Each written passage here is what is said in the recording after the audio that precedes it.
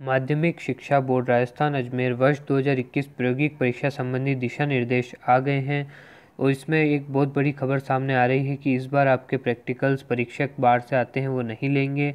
आपके प्रैक्टिकल्स आपके शिक्षक या आपके जो पढ़ाने वाले विषय अध्यापक है वही लेंगे। देख लीजिए, इसके लिए आप ये पाँचवा नियम देख सकते हैं कि कोरोना महामारी के दृष्टिगत इस वर्ष 2021 की प्रायोगिक परीक्षाओं में बोर्ड द्वारा बाह्य परीक्षक नियुक्त नहीं किए जाएँगे। प्रायोगिक परीक्षाओं के लिए विद्यालयों में अध्यापन करवा रहे योग्यताधारी विषय अध्यापक या शिक्षकों से ही विद्यालयों की प्रायोगिक परीक्षा संपन्न कराई जाए।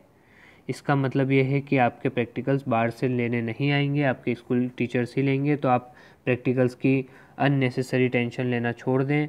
और आप अपने बोर्ड्स पर ज़्यादा फोकस करें क्योंकि आपके टीचर्स आपके अंक अच्छे ही भेजेंगे क्योंकि वो आपका बुरा नहीं चाहते हैं और इससे उनका स्कूल का भी फ़ायदा है।